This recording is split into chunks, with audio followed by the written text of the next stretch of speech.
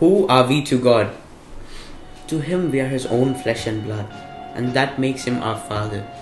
The very first thing that comes into my mind when I think about a father is the love, the warmth we share with Him.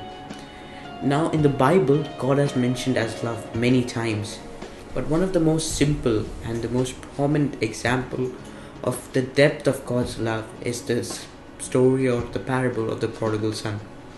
The prodigal son who left with a share of his father's inheritance to live his life lavishly, to enjoy his life, but while he was doing so, he ran out of funds and it came down to survival and the only choice he had was to work at a nearby farm, just feeding pigs.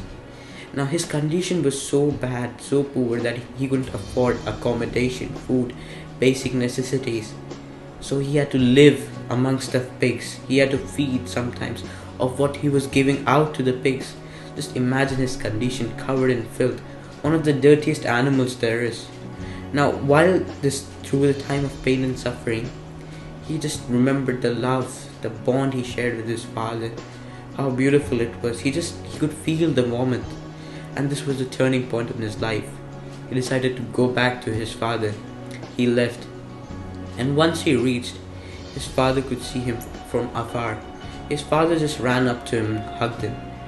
His father didn't care how dirty he was, how filthy he looked, how smelly he was if it was one of us, we would just try to run away. We would try to avoid the person. We would try to keep as far as possible from coming in contact with the person until and unless he's clean, until and unless he's in proper attire. But all of this doesn't matter to a father. His love is greater than all of this. A father just goes and hugs his child. It is up to us. It's our father is just a call away. He'd come running as soon as we call him, hug us, and take us in with him. Now I'll leave it up to you to decide.